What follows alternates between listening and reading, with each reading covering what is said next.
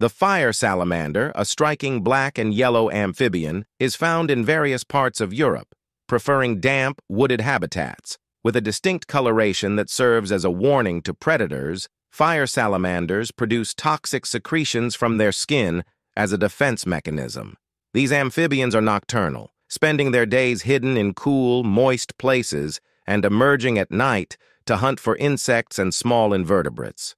Fire salamanders are known for their unique courtship rituals, involving elaborate displays and tactile interactions between males and females. Although they are not currently considered endangered, habitat destruction and pollution pose threats to the fire salamander population.